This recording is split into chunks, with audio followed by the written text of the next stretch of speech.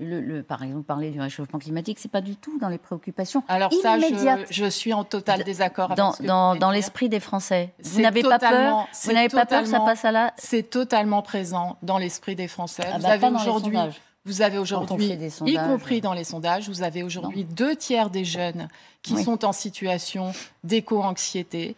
L'été qui s'est passé avec les inondations en Allemagne, en Belgique, les dômes de chaleur au Canada, le fait qu'on ait mis des humains dans des salles de refroidissement, les incendies qu'il y a eu tout autour de la Méditerranée, par exemple en Grèce, en Algérie, en Turquie, c'est totalement présent à l'esprit euh, des Français. C'est pas incompatible avec le fait que euh, même si c'est occulté dans la campagne présidentielle. La vraie anomalie, c'est que ce soit occulté dans la campagne présidentielle. C'est que le président de la République ait fait deux heures d'émission la semaine dernière où il n'a pas une fois prononcé le mot climat. L'anomalie, elle est là. Elle n'est pas dans les préoccupations des gens.